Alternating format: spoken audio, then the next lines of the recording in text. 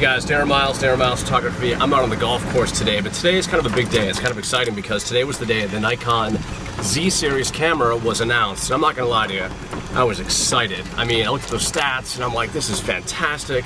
This is gonna be a phenomenal camera. I cannot wait to, cannot wait to get my hands on one of these. And then I saw that it only had one card slot. And as a wedding photography professional, speaking for myself, I know UHD cards, whatever they are, not UHD cards, QX, whatever. Yeah, you know what I mean. UH, whatever. Those cards, they're unbelievably reliable. I know, yada yada yada. But as a wedding professional, I'm not going to risk my career with a camera with one card slot. Maybe as a B camera, but chances are very good that I am not going to get a Nikon Z. Might have to wait for the Nikon Z Mark II. So I can't take the risk as a professional with only one card slot.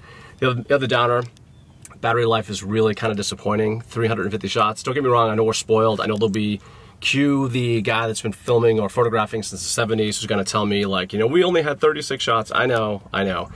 But we're in a new era today, and 350 shots for a mirrorless camera, sorry, it's just not up to par.